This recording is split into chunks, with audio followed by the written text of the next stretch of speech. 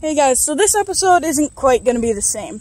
What we're going to do here is we're going to be honoring the men and women who had fallen, protecting this glorious flag of ours. Well, they didn't. So, what Okay. what we're going to be doing, please stop breaking the fourth wall. Sorry. I mean, we've broken it more times than we can count, so who cares? Mm. Alright, enough of this introduction, on to the video.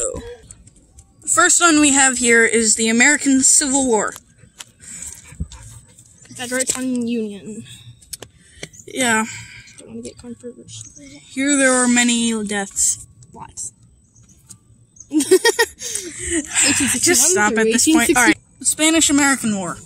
This one was another one that we.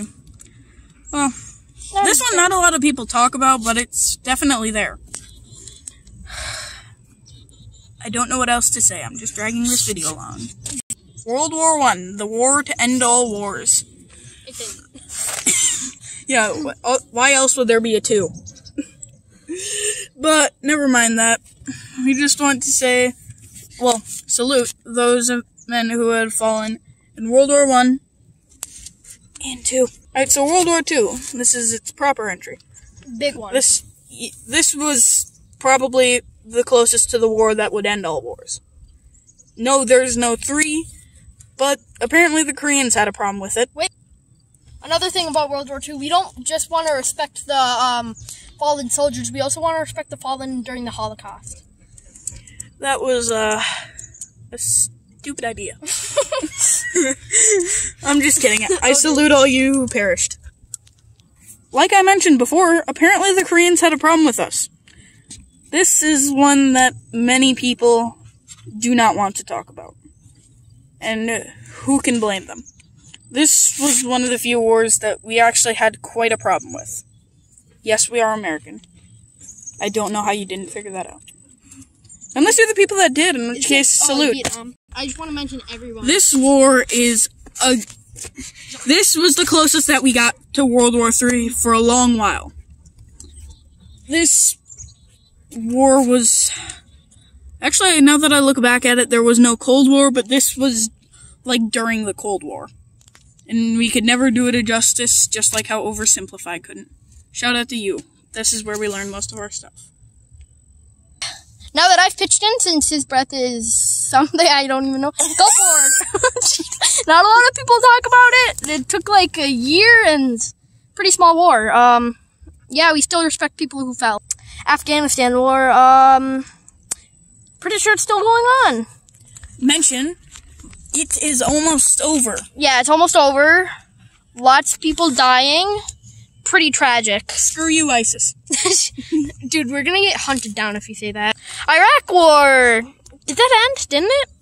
Yes, yes, Yes, it did. That's Iraq there's War. a past date. Yeah. Okay. But Uh, the lights have fallen. More stuff in the Middle East. Middle East is going pretty insane right now. Uh, we the still most recent started war that we have here.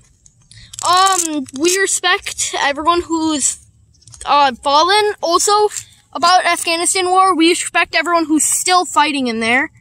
Um, yeah. Here is a panorama of all the main people, or the most important people, that could be considered small American heroes for us. Not for the actual US, but just for us. We have a very small town. If you find us, congratulations. Don't kill.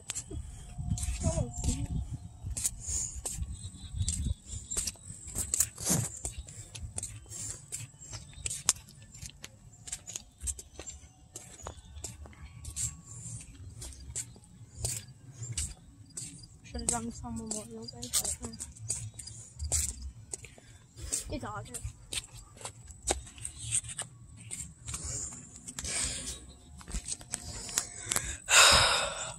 Well, that was not emotional at all. So, I'm just going to say we salute any and all who fell during the war while serving a The serving war- the American. all wars, not the wait. The war of wars. The war. Don't kill me. Please don't kill me, ISIS. Salute!